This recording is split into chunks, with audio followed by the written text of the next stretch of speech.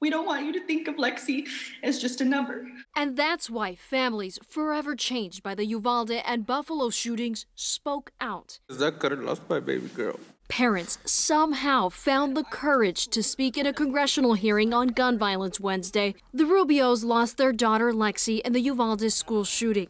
They took her photo at an award ceremony that morning. It would be her last. I left my daughter at that school, and that decision will haunt me for the rest of my life. Haunted. That's how this Uvalde doctor feels too. What he saw is hard to hear. But what I did find was something no prayer will ever relieve. Two children whose bodies have been pulverized by bullets fired at them, decapitated.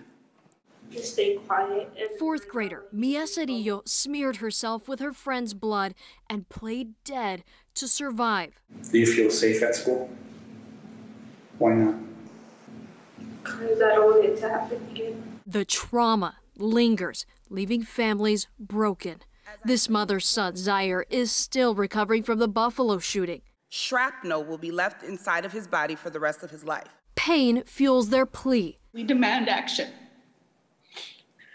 We seek a ban on assault rifles and high capacity magazines. Somewhere out there, there's a mom listening to our testimony, thinking, I can't even imagine their pain, not knowing that our reality will one day be hers unless we act now. They hope this time things will change. And tomorrow, a special Texas House committee will meet in Austin to investigate what happened in Uvalde, including the much criticized response from law enforcement. Most of that testimony will happen behind closed doors. For WFAA, I'm Adriana De Alba.